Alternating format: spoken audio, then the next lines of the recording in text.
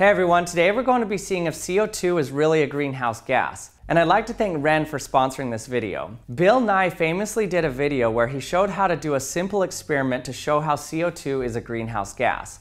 He said to grab two jars and fill one of them with air and the other one with CO2. Then put a thermometer in both of them and shine a heat lamp on both of them. He said within a few minutes you should see that the one with CO2 will rise in temperature faster than the one with air. So let's try this. So I have two identical jars here and two thermocouples in here. The readings are going right here. This top one, if I hold it, you can see the temperature go up. The one on the left is on the top, the one on the right is on the bottom here. So let's fill the left one with CO2.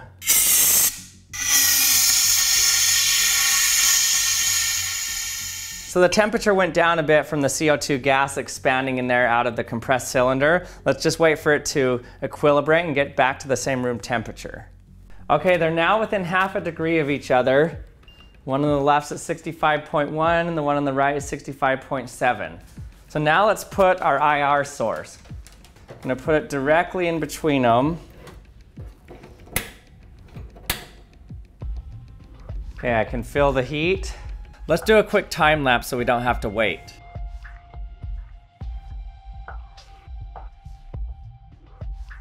So these are staying remarkably consistent to how they started. They started off about a half a degree difference between the two, and it's about that exact same difference right now, 10 degrees later.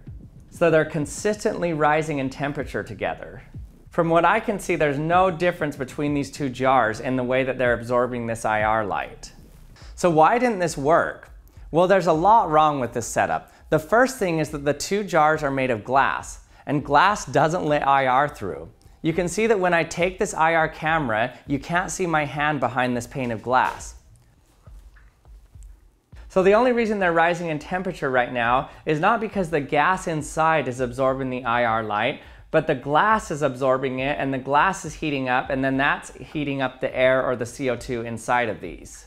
But another version of this experiment just shines regular light, not a heat lamp. In this case, you get a pretty significant difference between the CO2 and the air.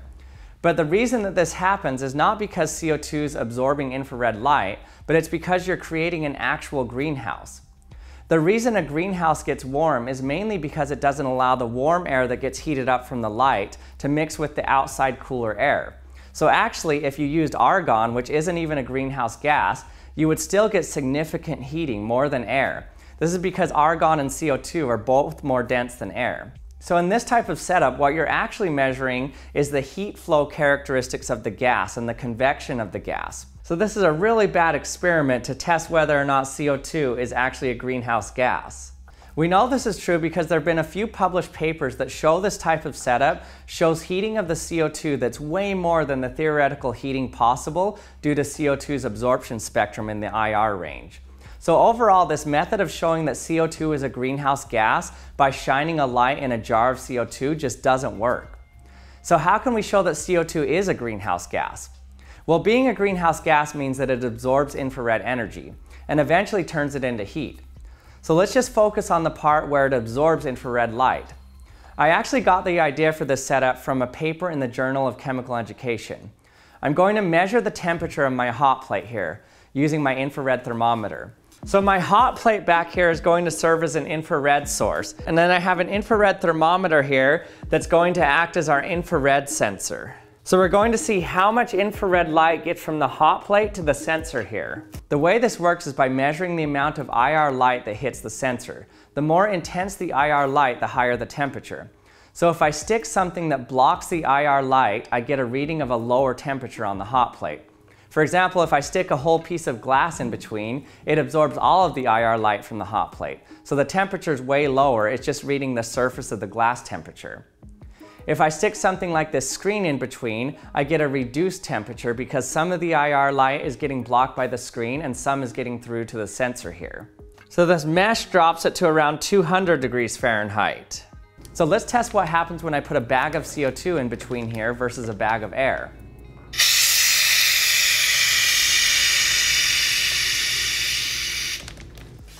Okay, here's our CO2 bag. And here's our air bag. Okay, so I have my bag of CO2 and my bag of air here. Okay, so I have this aimed at the hot plate here. You can see where the laser's aiming. So first, let's see the temperature with air. We're reading around 315 degrees Fahrenheit. But with CO2, around 300 Fahrenheit, 305 Fahrenheit. Air, 315, CO2, 305. It's a huge difference. Air, CO2. Air, CO2. You can see that the CO2 showed a lower temperature on the hot plate.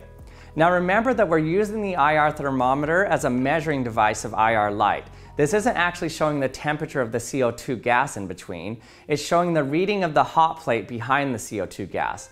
But since the CO2 is absorbing some of the IR light, you get a lower reading than you should have had without the CO2 being there. This shows that the CO2 is actually absorbing the IR light. We've essentially just created a spectrometer here.